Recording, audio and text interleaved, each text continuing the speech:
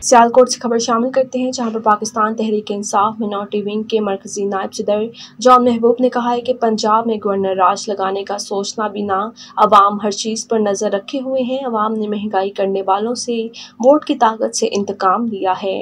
आइंदा नून लीग का सियासी मुस्तबिल बिल्कुल तारीख है। उन्हें तो शायद पाकिस्तान के हल्कों में उम्मीदवार भी मैसर न आए। उन्होंने कहा है कि पाकिस्तान पीपल्स पार्टी की आसिफ अली जरदारी ने जिस तरह का सियासी खेल नून लीग के साथ खेल कर उसे ख़त्म करने के लिए जो इकदाम उठाए हैं, बिलाशुबा उन्होंने अपनी सियासी बसीरत का सबूत दिया है। अब नून लीग की मिसाल उस कोड किडली की सी है, जिसे निकला जा सकता है न थुका जा सकता है। इकतदार के मज़े लूटने वालों के लिए इकतदार उनके गले की हड्डी बन चुका है और अब आने वाले दिनों में नून लीग के लिए मजीद परेशानी बढ़ेगी।